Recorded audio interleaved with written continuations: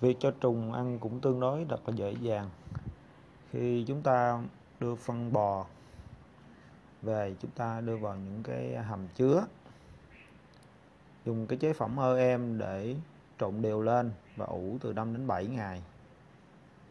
Ờ, sau đó thì ờ, chúng ta dùng nước bơm vào trộn thật là đều lên, những như thế này này và chúng ta xúc đưa vào xe để à, chuyển ra à, trại cho trùng ăn từ đó chúng ta dùng những cái gáo những gáo nhựa chúng ta múc những cái phân và rưới thành từng hàng như thế này trên bề mặt luống.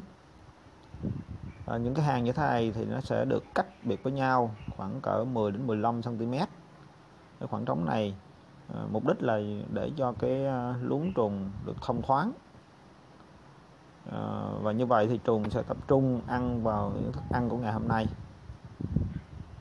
À, cho cái đợt ăn tiếp theo á ờ, cho ăn tiếp theo thì chúng ta à, sẽ cho ăn vào cái khoảng trống giữa hai luống ngày hôm nay.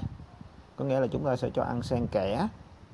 À, cái khoảng cách giữa các cái đợt cho ăn á thì nó thường khoảng từ 1 đến 2 ngày tùy thuộc vào cái lượng uh, trùng có trong luống và nhìn đây là cái luống này thì trùng nó đã ăn hết rồi nè.